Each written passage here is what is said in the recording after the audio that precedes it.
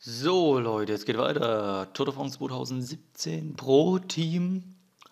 Und ja, wie ihr seht, seht nach 17 Etappen Richie Port weiter souverän von fünfter Vogelsang, sechster D. Ja, und jetzt kommt die entscheidende Etappe. Zum Isoar. Und danach ist dann nur noch das Zeitfahren und aber in dem Zeitfahren mit 21 Kilometern äh, werden die Zeitabstände zu gering sein, um dass dort was passiert.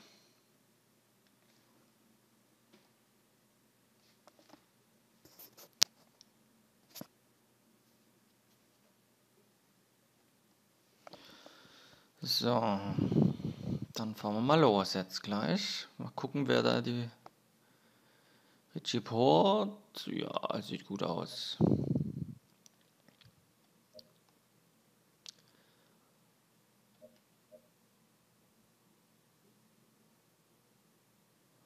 Romain Bardet sieht auch gut aus. Genauso wie Vogelsang.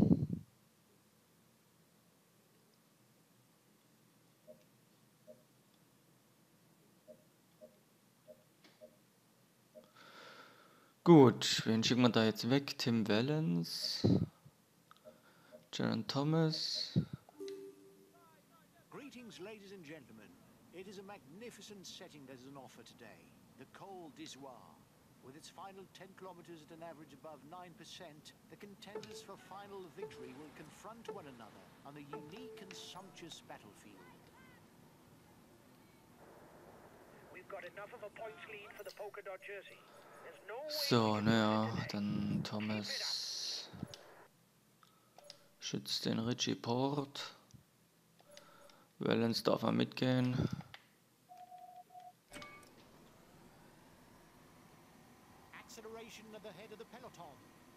Good climber and a good ruler.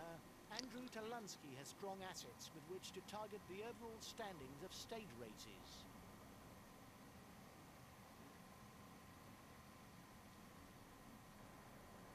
your teammate, who's the most dangerous for the overall standings in the breakaway.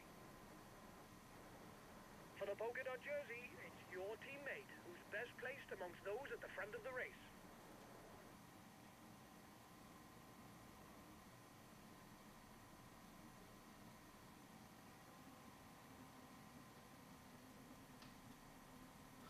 So. Okay, Ausreise sind über vier Minuten weg. Das ist schon mal sehr gut. Rowan Dennis und Andrew Delansky.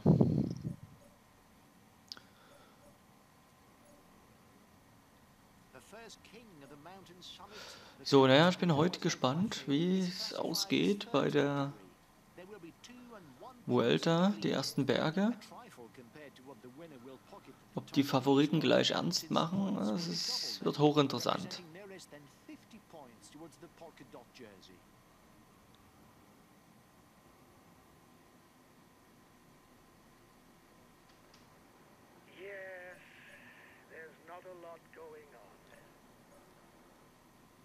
So, sieben Minuten schon. Ich glaube, ich lasse Christoph mal um die Sprintpunkte kämpfen.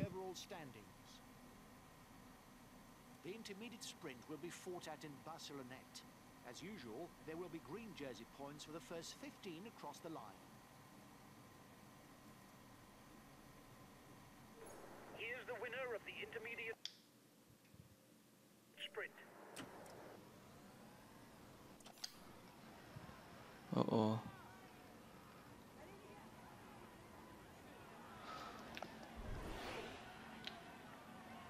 Vorne ist er schon, der Sagan. Und Bohrer macht Tempo für Sagan.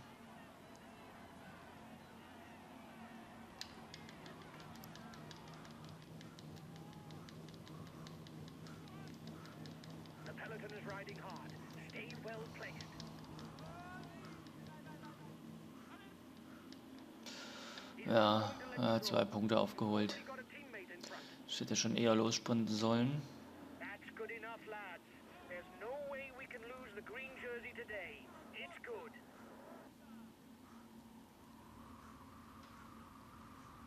The gap with the yellow jersey is melting away. The escapees will have difficulty. Gut, dann fahren wir weiter. Ah, Saga, nicht so einen Scheiß machen.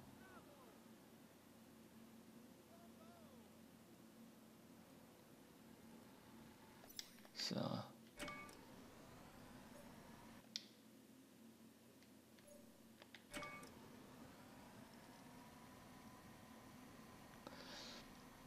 So, gleich erster Anstieg. Gruppe um Valens, über First sieben round Minuten contains Vorsprung.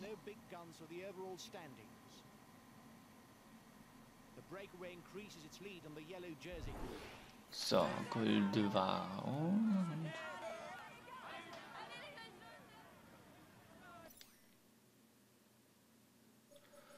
Wer schützt Port? So.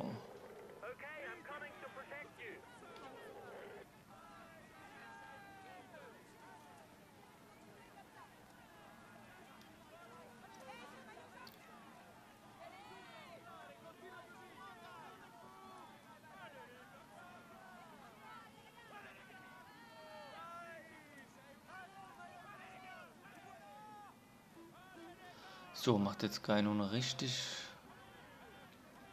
hartes Tempo oder nur so halb? Dass wieder niemand juckt.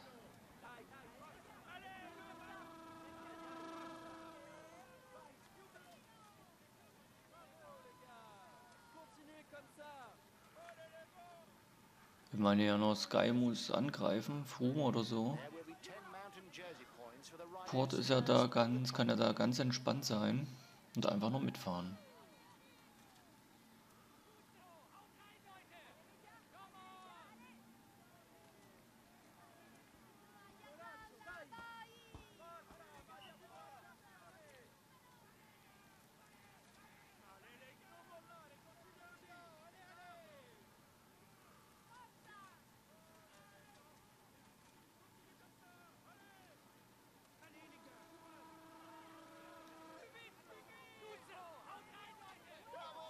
So, Vogelsang Bardet vorne dabei, gut.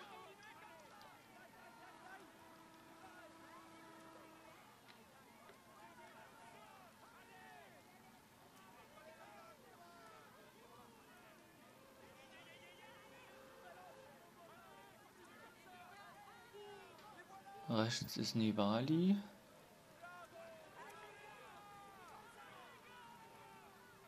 A teammate has just been dropped. Can't count on him any longer.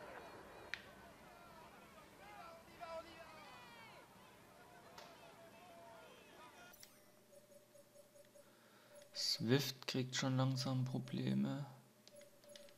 So, beim Rest geht's noch.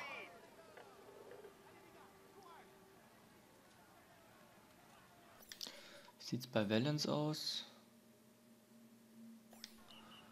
Sieht auch noch gut aus.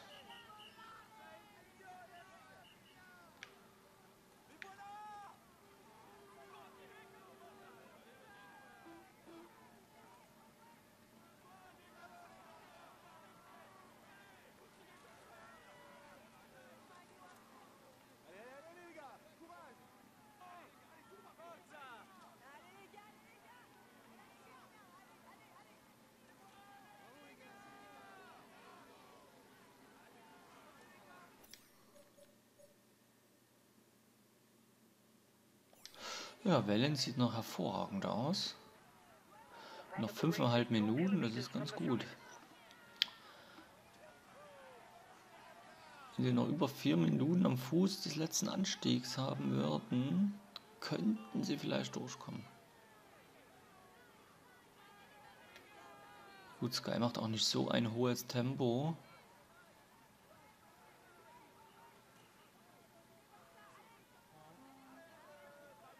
Keldermann.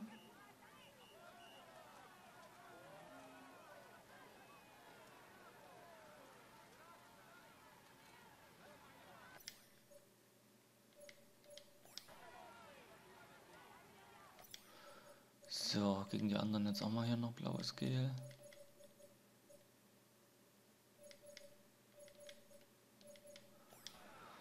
So, Okay, I'll consume a feed.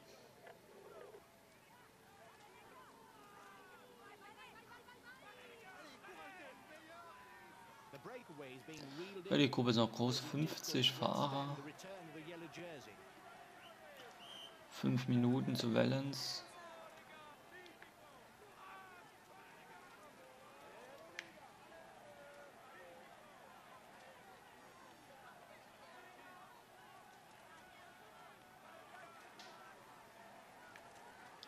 Swift ist zurückgefallen.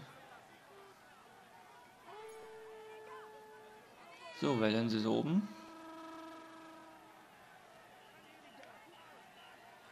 Mit Talansky zusammen, dann Rowan Dennis.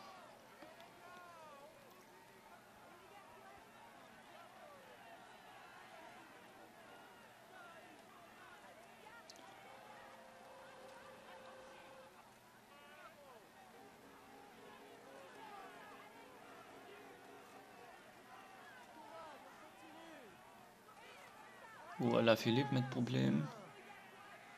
Kurz vor der Bergwertung. Jetzt wird hier das Tempo rausgenommen, ne, WTF.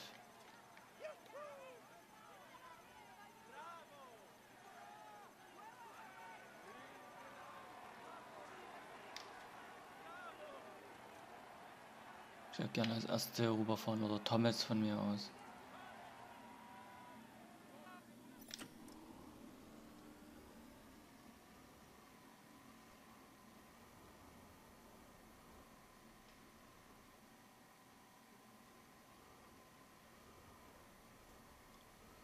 Breakaway increases its lead on the yellow jersey group. So, nochmal Verpflegung und gleich geht's in den letzten Anstieg. Was ist mit Vogelsang los? Das für eine Scheiße.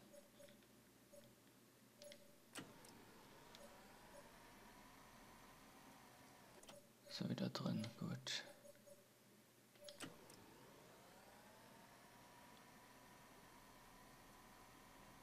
Here we are at the start of the Col d'Izoire climb. Swift ist auch wieder drin.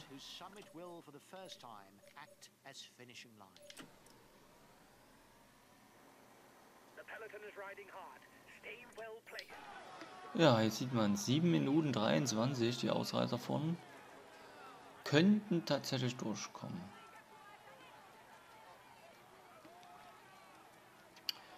So, Kwiatkowski zieht jetzt hier das Tempo an.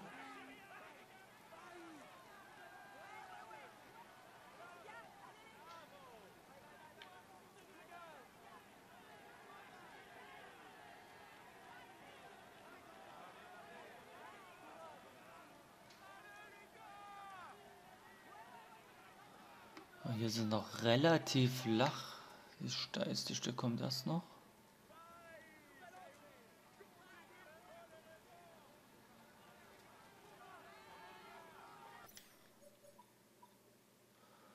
Valence, okay, ist wieder vorne mit dabei. Another 10 kilometers before the Izoire summit. So.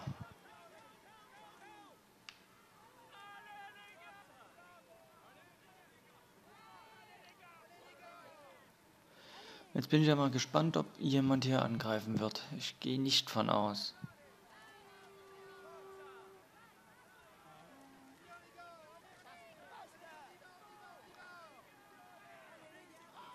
Wenn, dann müsste mal Froome oder so angreifen.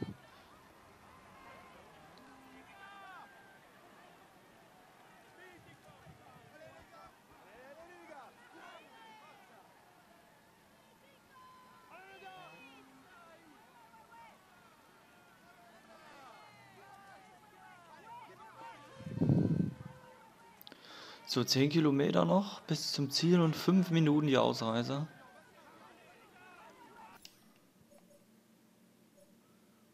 Ja, Valenz 50 ist... Äh, 70, komm, Tempo 70.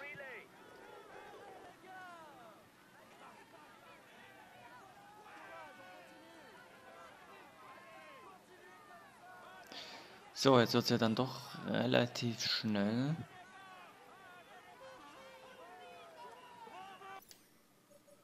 Und ja, Swift ist schon längst weg.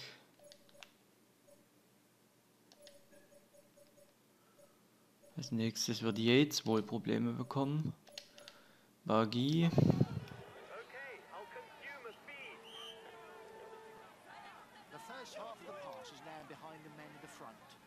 start climbing the highest and most relentless percentages of the Col d'Isoire.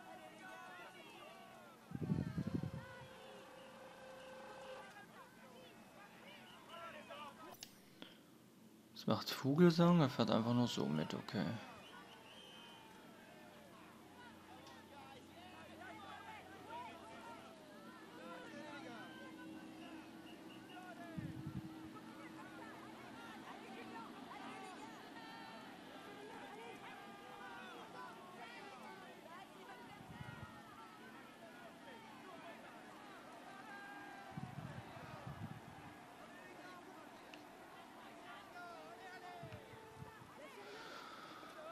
Ja, ach, 37 Fahrer noch. Noch greift keiner an.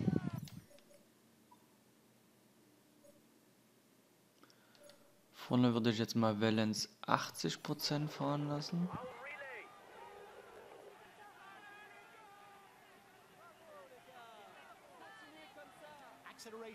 Jetzt passiert was. Quintana.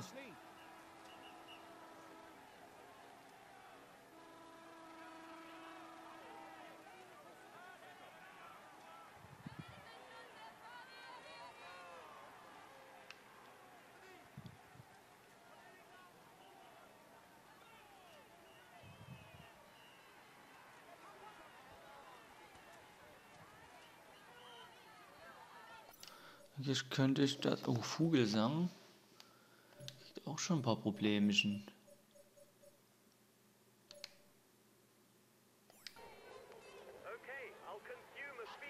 Ja, warten wir erstmal. Entweder fährt Fum selber zu. Oder ich spanne dann Vogelsang vorne ein.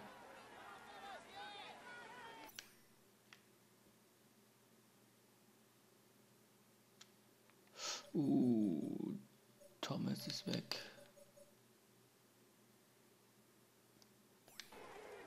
Okay, I'll consume a speed.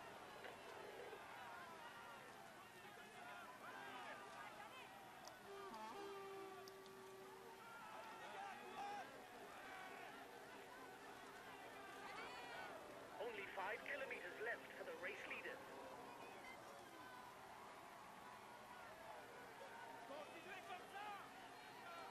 There's a Okay. peloton. Bei Froh muss ich tatsächlich mitgehen.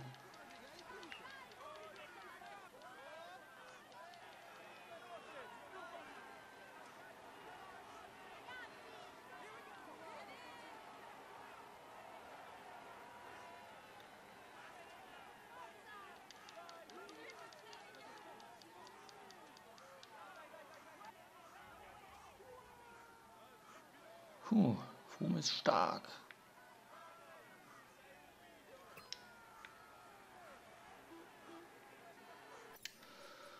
So, wie sieht's hinten aus? Dumoulin, da ist Bardet noch mit drin.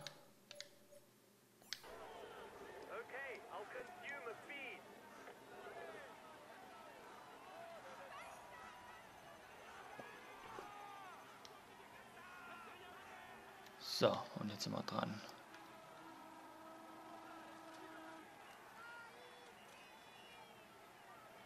Pinot dabei.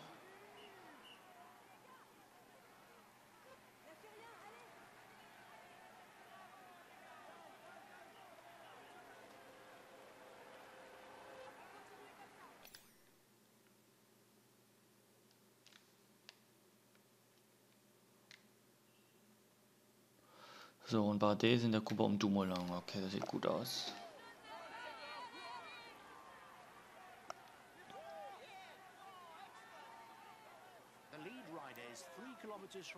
Für Valens sieht's gut aus. Zwei Minuten Vorsprung vor meiner Gruppe um Froome. Und sind noch ein bisschen mehr als drei Kilometer.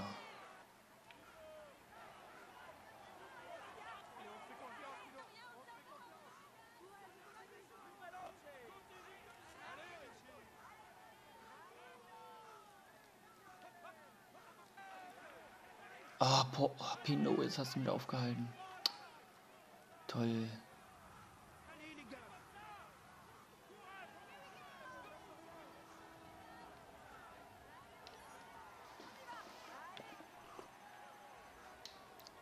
Und eigentlich keine Zeit auf Ruhm verlieren. Lead riders, 1 minute 30 on the favourites. The head of the race has one and a half minutes lead on the Naja, der wird irgendwann einbrechen. Ich fahre ein bisschen langsamer weiter.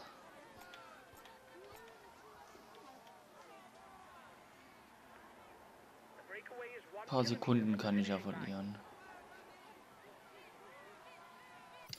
So, warte mal gucken, wo Bardet und Vogelsang ist. Bardet mal ein bisschen Tempo machen.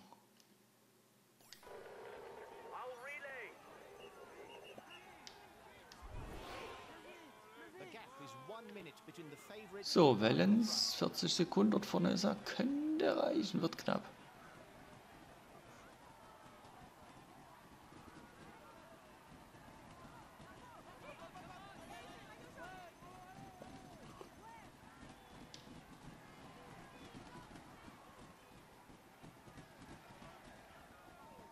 Oh, oh, oh, oh, oh. Valens ist am Ende. Doch, Valens hat's geschafft. Und ich bin mit Vroom reingekommen. So, jetzt gucken wir nochmal auf Bardet.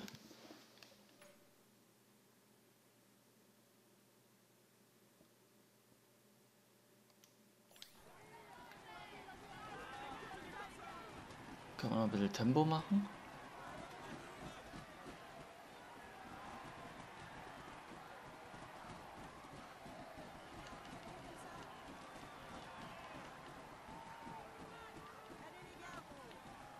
So. Gut, an dem Ziel von meinen Fahrern, außer Christoph und Swift, aber gut, das ist klar. Und ja, jetzt kann man sagen, Torsieg eigentlich perfekt, weil wenn, dann habe ich jetzt noch ganz wenige Sekunden auf äh, Chris Froome verloren. Das macht nicht so viel aus.